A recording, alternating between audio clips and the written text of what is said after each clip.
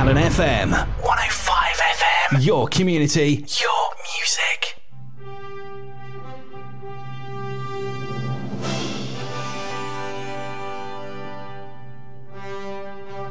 So, maybe wondering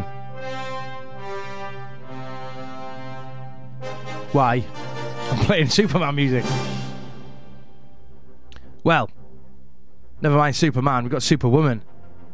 How's about this for a story?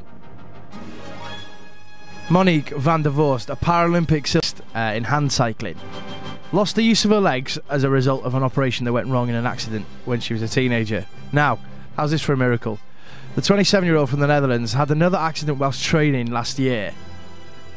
And then an extraordinary twist, I wouldn't have used those words, BBC website.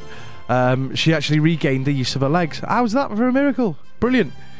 She describes her unexplained recovery and a search for a new identity after being disqualified from competing in the Paralympics, which resulted in being offered a contract with a professional road cycling team.